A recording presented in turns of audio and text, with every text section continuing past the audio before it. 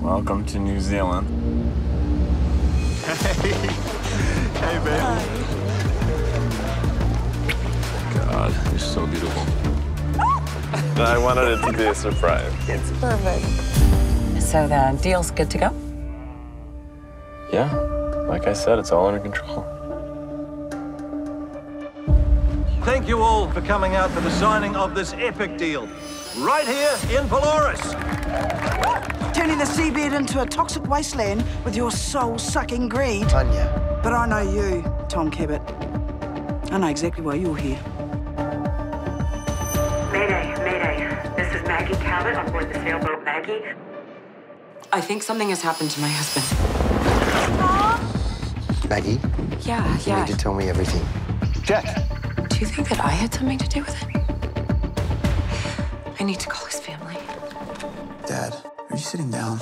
She arrives, and he kayaks into the Great Blue Yonder.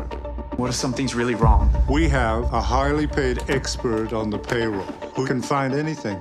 The Cabbotts wanted someone on the ground to protect the Cabbotts' interests. That's all Tom is to them. An interest. It's her fault. It's a mistake to make an enemy of the Cabbotts. I saw your husband doing something that he shouldn't.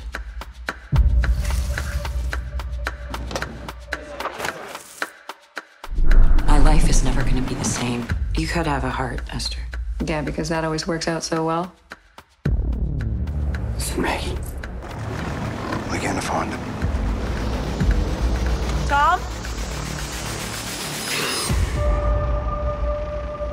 The Sounds, this fall on CBC and CBC Gem.